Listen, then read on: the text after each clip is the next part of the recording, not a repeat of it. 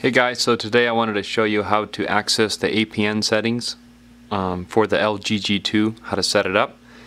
And so this is for if you want to set up anything prepaid, whether it's Straight Talk or whether it's T-Mobile or whether it's, uh, you know, whatever you want to set up on here. Just wanted to show you how to access the, the APN settings so you can set it up.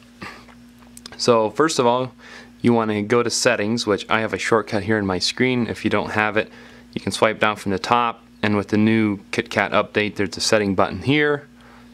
Or you can go into your apps and you can find your settings under here. And either way you want to access your settings. So you want to be under networks and you want to go to tethering and networks. And then you want to go to mobile networks. And then you want to go to access point names where it says set up APN for data service so all you would do is that. Now you can see I have Straight Talk, but what you need to do is do the menu and do new APN and fill that out and when you're done you would hit the menu and hit save which I'm going to discard it because I don't need it. Just wanted to show you that's how you would do it and then it'll be saved in your list.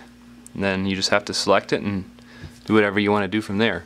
But just to show you how to access it. Thanks for watching.